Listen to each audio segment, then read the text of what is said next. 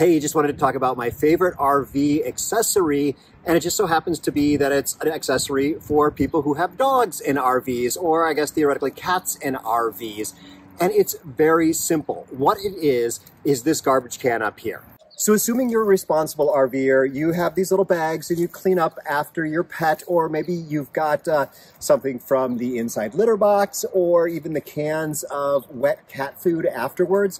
You don't want to put that stuff inside your RV. So what I did was I added this to the outside of my RV. And it's wonderful. You can just drop something in and then it's outside your RV, but it also folds out and then pull it out one more time and it makes a really big garbage can. Depending on how long you're out there, either boondocking or on the road away from a garbage can, you can put a lot of stuff in here that you don't want to have inside the RVs. Now I have stuck this to the back of my RV with these um, whatever these are, these command strips for outdoors. So these are stuck to the back of my RV. It's been on there for about six months and had no problems with that. So I'll have a link down below for the garbage can and the outdoor command strips that supports my YouTube channel. I've got a lot of different mods and, and um, accessories on my RV, but this one is by far, it's the most simple and the one I love the most. Thank you very much for watching and I'll see you